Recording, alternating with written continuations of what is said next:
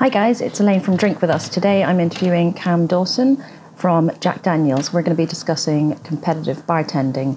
Please excuse the few moments where Cam goes a little bit pixely. He is on lockdown in 1999. And don't forget to follow us, like us, and subscribe on YouTube, Facebook, and Instagram. And if you do want to purchase any of the products that you see on any of our content, just head over to www.drinkwithus.co.uk forward slash mom. That is www.drinkwithus.co.uk forward slash MOM. It won't cost you guys any more, but it will help us a little bit with our running costs. Thanks, and I hope you enjoy. Bye.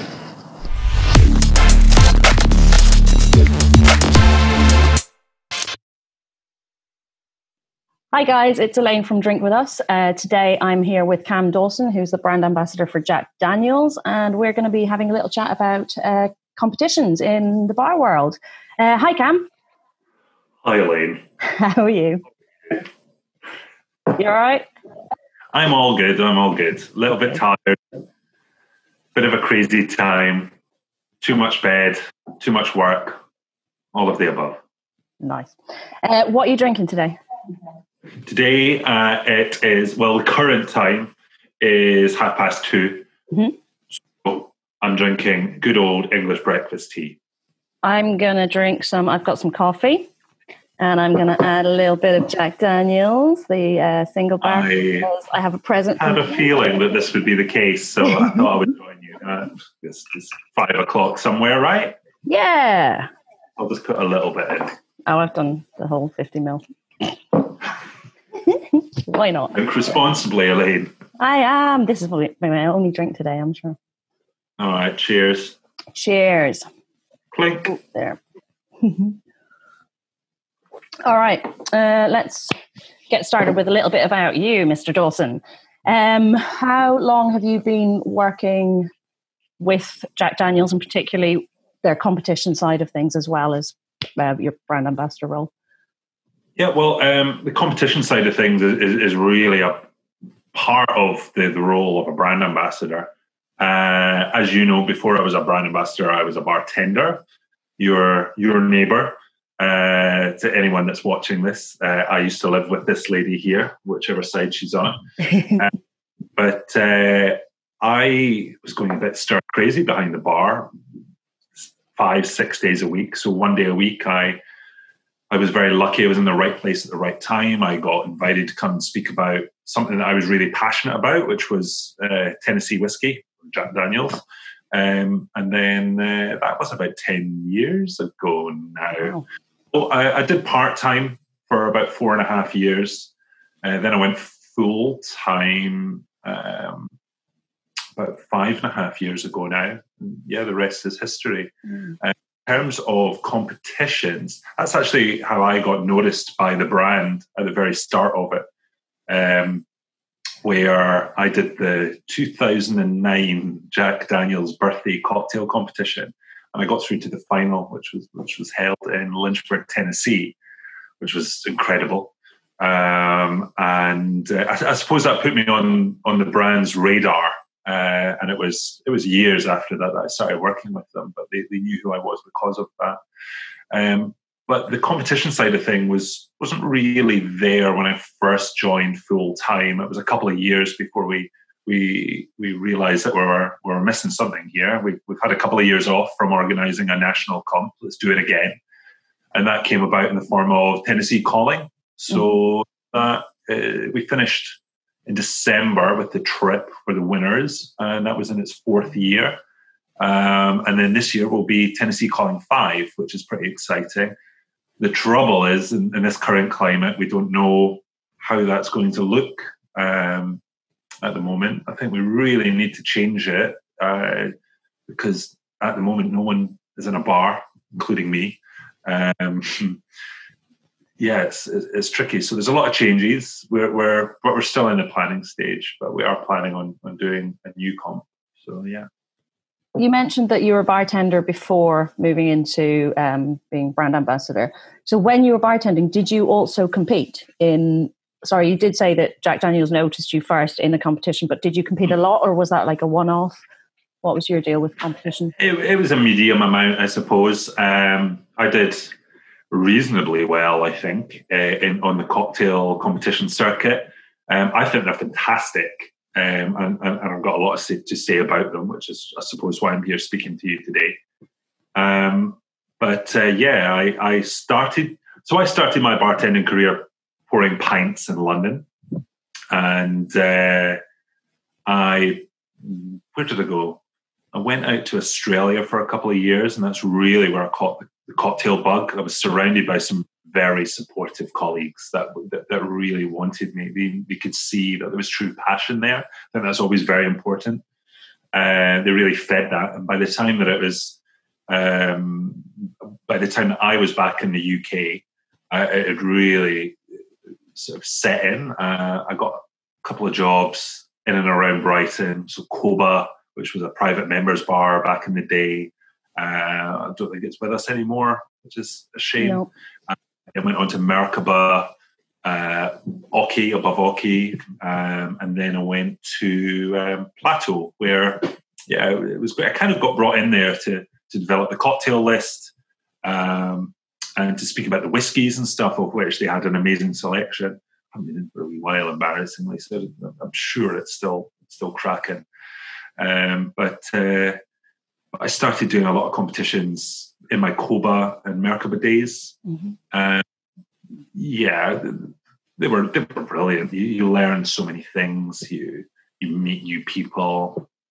Yeah, they're they're they're very useful, and you get to win prizes that don't normally get handed to you. So yeah, yeah. I think as a bartender, you know, you're famously not paid a huge amount of money and when you get a brand that sort of says, we're going to bring you out to the US or Mexico or wherever, it's such a bonus.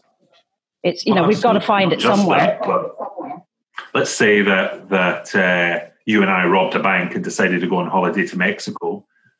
I think the standard tourist would probably go to uh, the coast, go to a nice beach resort, maybe for a city long city break. They'd go to Mexico City, a lot of culture in there as well, but you're traveling so far. But to have it all organized by a brand that are used to going out there, they know the good places to go, they, they know the places not to go, and to take you to a distillery in the middle of nowhere is just fantastic. And I'm very lucky that as a brand ambassador, I get to do that with people now, where I get to take them to Lynchburg, Tennessee, Tennessee is just an amazing, amazing place. But I think the bug really hasn't caught on with a lot of people. So if you go to America, you're going to New York.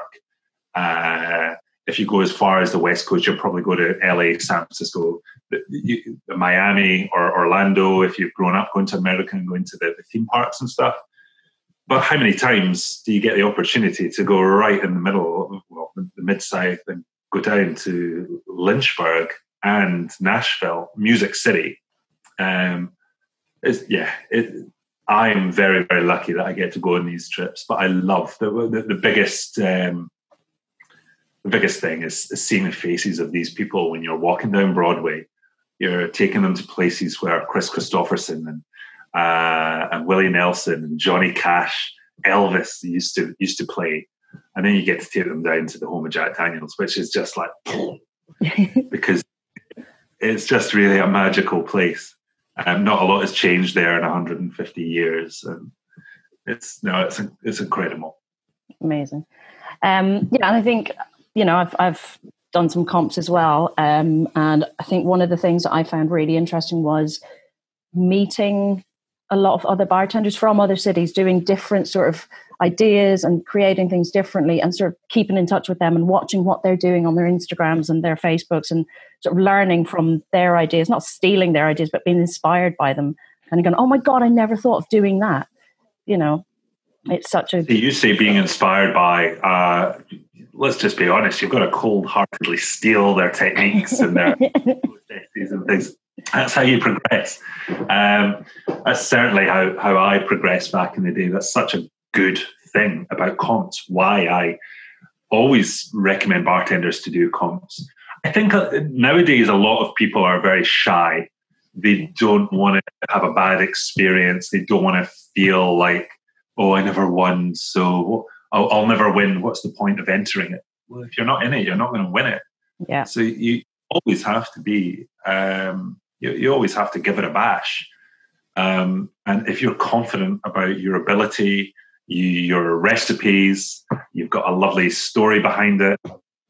I think your your chances are just as good as anyone else. Yeah, I remember doing a comp. it was when I was sort of doing a winning streak, and I was quite confident about competitions, and I had to go to I think it was Southampton to do a comp for um, another company, and uh, I got there. And I got up to do it, and I completely froze. I couldn't speak. I didn't. I couldn't remember anything. I just kind of went through the motions. I did so badly. But the one thing I learned from that was, it's fine. You know, the world has not ended. No, it Your was reputation fine. is still intact. Yeah, and had drinks with the guys, had a great time. You know, it was fine. I think the uh, I think the competition bartender when they get truly in it, um, it's a great way to to really get the the name of the bar out there.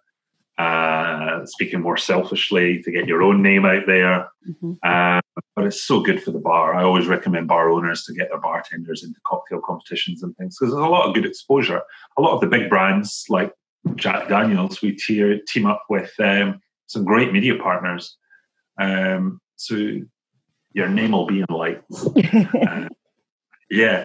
Um, it's such a good way to learn new techniques. This is how I progressed an awful lot I, I still remember very clearly the first ever competition that I did, which was it was Brighton Brighton's Rising Star.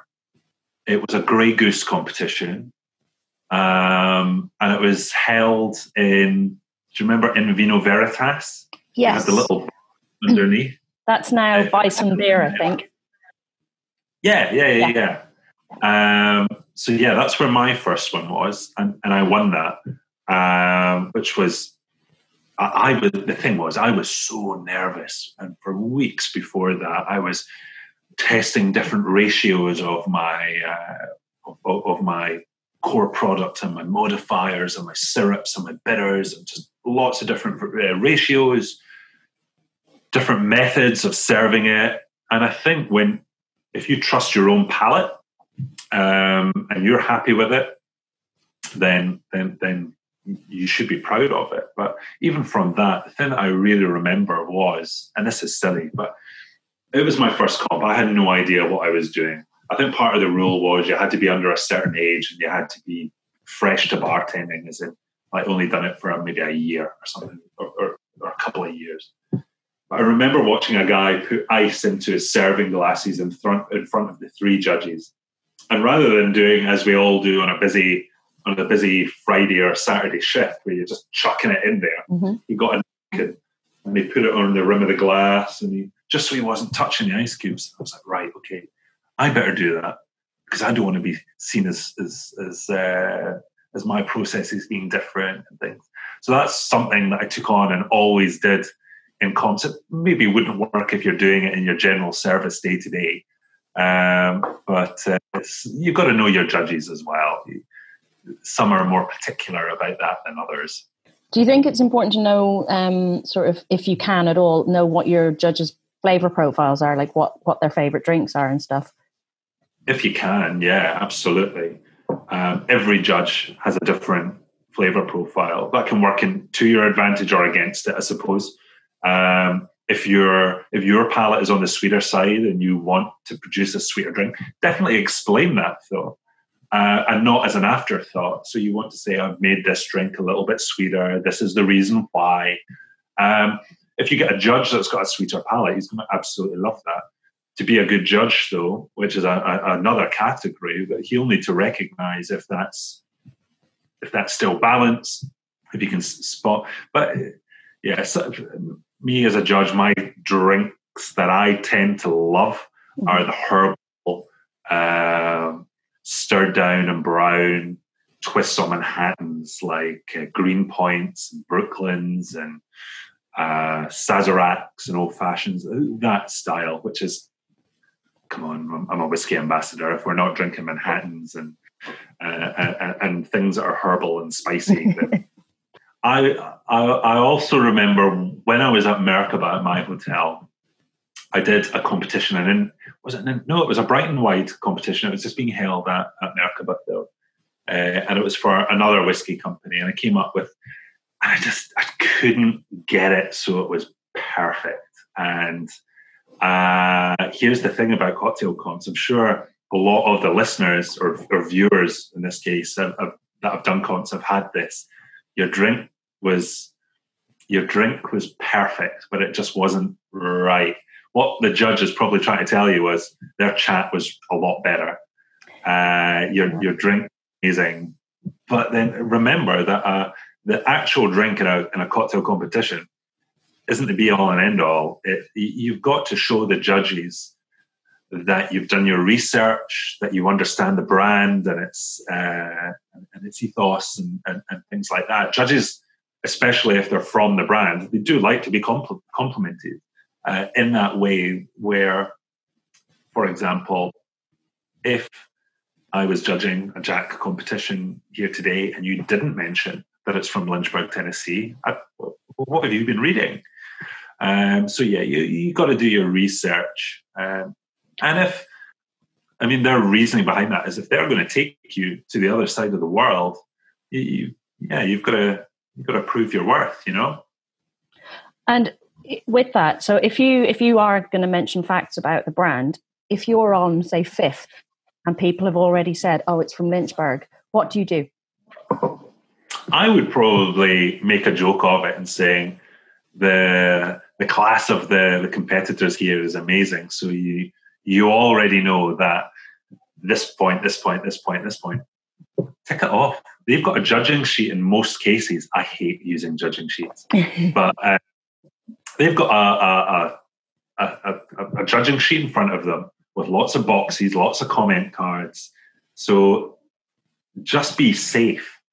If it is, if it's going to get down to one point, and it's because you missed out saying those facts, and a judge is being a bit nitty gritty about it, just list them off. I would personally say it in a jokey way. The competitors have been fantastic. So you guys already know all your brand history and your production. For example, it comes from here, it comes from when, it comes from there, blah, blah, blah. So yeah. Because if it gets down to that one single point and you'll lose it because of that, then you'll be heartbroken. And I know personally how how devastated you can be if you put everything that you have into a drink and then you miss by one point, you question everything. mm how this the next time? How do I do that? Uh, this is the competition circuit. This is what gets bartenders better, in, in, in my opinion, uh, amongst a whole world of other things as well. But um, but yeah, that's that, that's I would definitely say it. Yeah, I remember. Um, I think it was maybe my second or third competition I came second, and Miles from Mixology Group, Miles Cunliffe, was um, he was judging, and he came up to me at the end and he was like, "You would have won that, but you didn't say the facts." And I said, "Oh, but everyone, but they'd already said them." And he was like, "Doesn't matter. It's your time. Say it." And that's stuck with me ever since. You know, and yeah, you're right. Like, acknowledge that it's been said before because that shows that you've been paying attention to your other competitors and you've got some sportsmanship. Yeah, absolutely. You know, you've definitely got to have a lot of um, um, you've, you've definitely got to have some respect for your fellow competitors. Anyone that came into a competition, uh, flung their jacket up, waltzed onto the bar, and and just acted like an arrogant fuck. Uh, probably my competition, but um, I'm, I'm happy to say that that's never happened with me. So um, so we've already talked a little bit about what you're looking for when you're judging, um, but when you're planning a competition, what are the things that you take into consideration to get that off the ground? Well, from from a company point of view, there's a lot of work that goes on in the background. It's not. I think gone are the days that you, you can just show up, post an advert on on Facebook, uh, and and hope that you'll get 15 to 20 bartenders showing up to compete to win a bottle of, of or, or a, a bottle of the range, you know.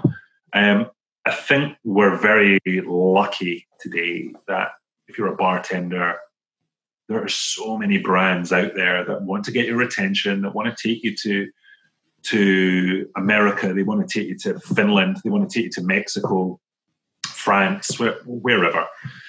Um, so I think that to attract the people, you need to have a really good experience in terms of the competition side of things, and then also the prize. Why does the why does the competitor want to enter this comp? Uh, I remember one of my competitions, back when I was at, um, at my hotel again, was to win a Swiss watch, which didn't attract that many. Times. I've had a thing that I've always wanted a Swiss watch. So I was like, right, I'm going to enter that and I'm going to win it. I never won it. um, I gave it a good old shot. Uh, it was a really good comp, though.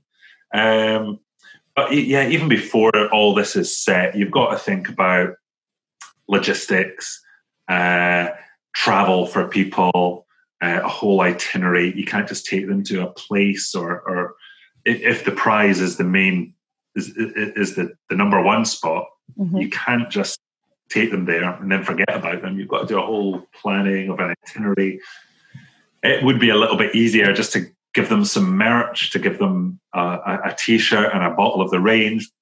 But that's not really inspirational, is it? Um, if you're asking bartenders to really give up a serious amount of their time to develop a cocktail, to to memorize the brand heritage and to, to spill it back to you, then you've got to you've got to have a big, outstanding, eye-catching prize. I think at the end of the day, um, it's because uh, brand ambassador to brand ambassador. I don't know how you find this, but it, it's nowadays it's so difficult to get people in, excited and into one room, even with our big advocacy play at Jack, which is the um, the Tennessee calling competition getting people to those road shows that I did around the country is always difficult. You've always mm-hmm. got you've really to pester people, and I hate pestering people to, to come along to the sessions and things like that. I'm quite lucky because I'm Brighton based and we all sort of the other reps and brand ambassadors sort of stay in touch and let each other know when there's a comp coming up so we don't clash with the mm. dates because there's yeah. so much out there that people are like, oh, I want to enter that, I want to enter that, but they're two days after each other. Which one do I pick? You know? So it, it, it, it's an amazing time to be a bartender. Well, maybe not currently now. Choose your um, but uh, yeah, there are so many brands out there offering some amazing, amazing things. Um, you don't have to enter all of them. Bartenders at home, you can you can pick and choose to uh, whatever experience, whatever things that you will will further your career. Um, that's the good thing about comps also that it really does put your name um, in lights and, and, and, elevates your reputation not only of you but of your bar. Yeah. There are some comps that that go global um, and make you fight it out with with the best of every country. Um, I've never done something like that. I can't imagine the stress that these guys must be going through. Yeah. but uh, yeah. So we've touched on some of the things that you like to see when you're judging a competition from your bartenders. Um, can you give me like a little rundown on the do's and don'ts for bartenders when they're when they're in that competition? We've talked a lot about them prepping themselves for it, but what do you want to see when they're standing there presenting to you a drink with your brand, or if they're you know doing a comp for another brand? But your do's and don'ts generally. Clean fingernails. um, a drink right in front of me. Make sure that you're uh, you're the best possible hygienic person that you could be. Um, I, don't, I don't know. That, I mean, that is a big one, of course. But brands love to be complimented.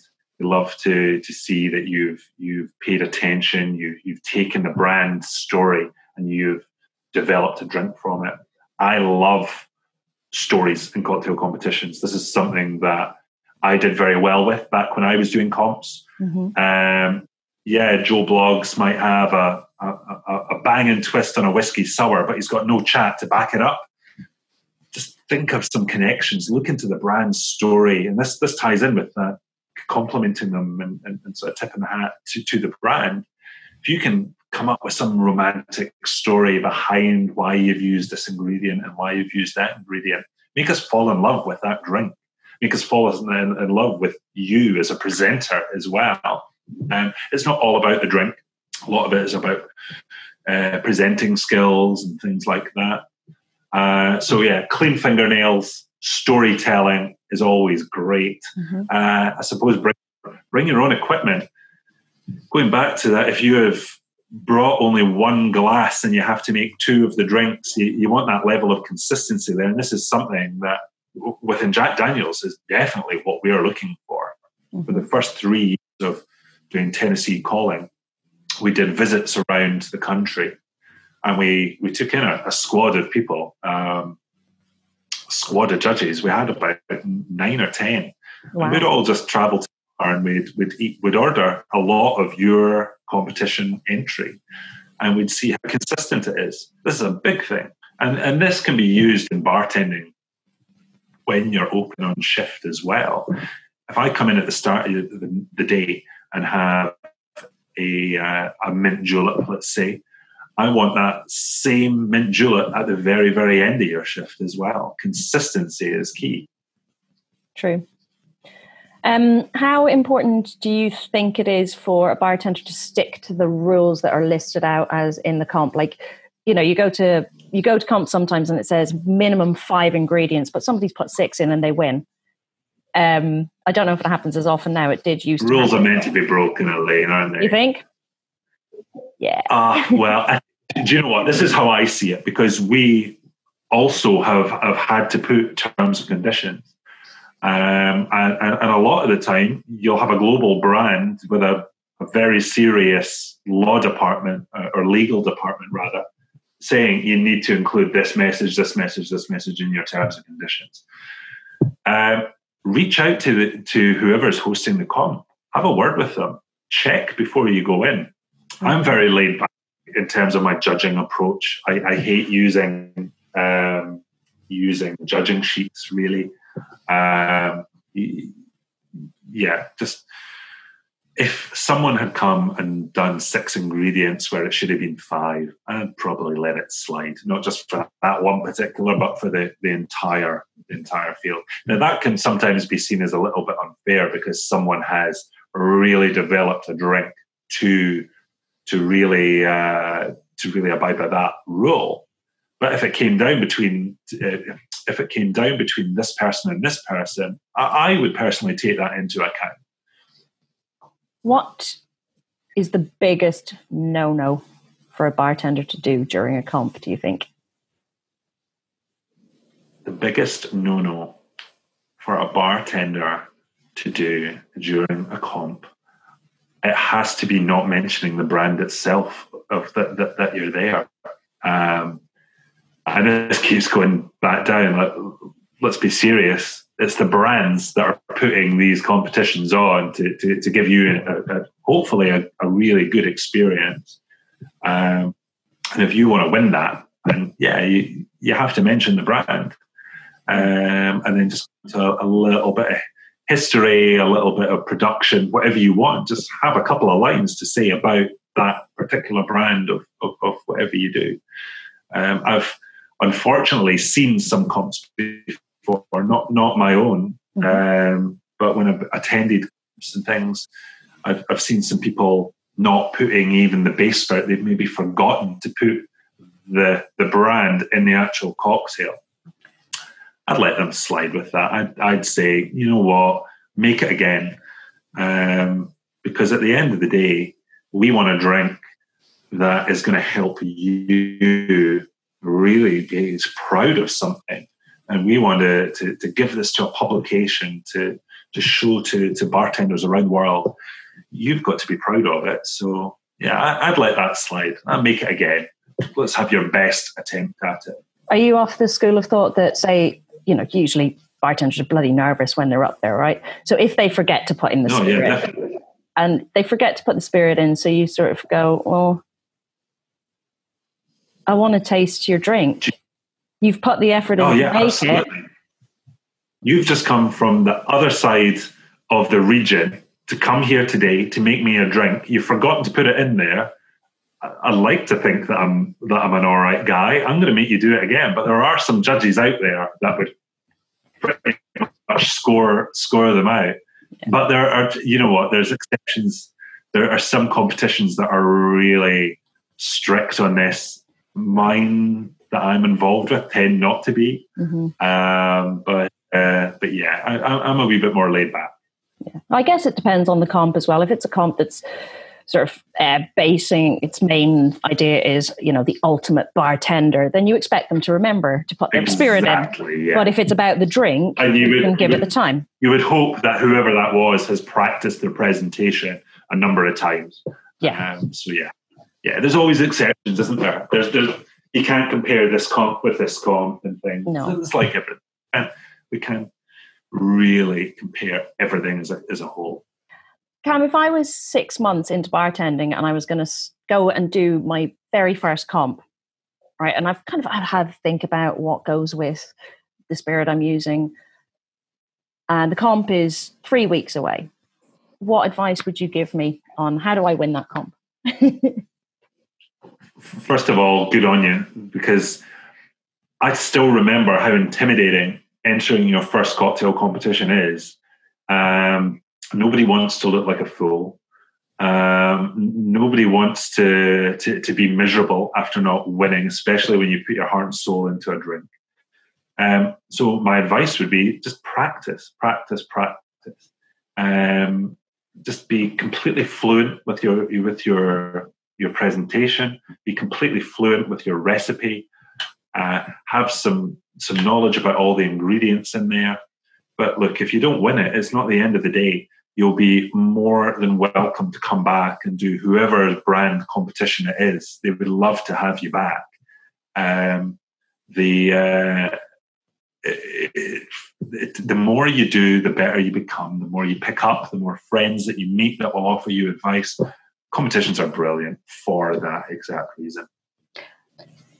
All right, Cam, thank you so much for talking to us. Um, hopefully, your advice will go far and you'll see lots of uh, confident bartenders coming back to bartending when we're allowed behind the bar again.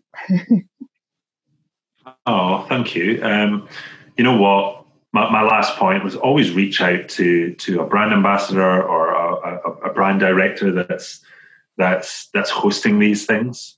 Um, they're there to, to, to help you, and they give them a call, send them an email. If you're unsure of anything, that's what they're there for. So yeah, definitely definitely speak to them. Thank you so much for having me having me on here today. It's been really good fun catching up.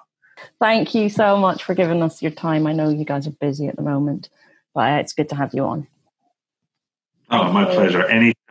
Um, I hope you're keeping safe. I hope everyone at home watching this is keeping safe. Hopefully, it'll all blow over soon. Um, if you need any help from me, get in touch, even if it's just a chat. So yeah, I think that's that's important because I'm going fucking stir crazy being locked up inside. so yeah. Cool. All right. Thanks, Cam. Love you lots. Bye.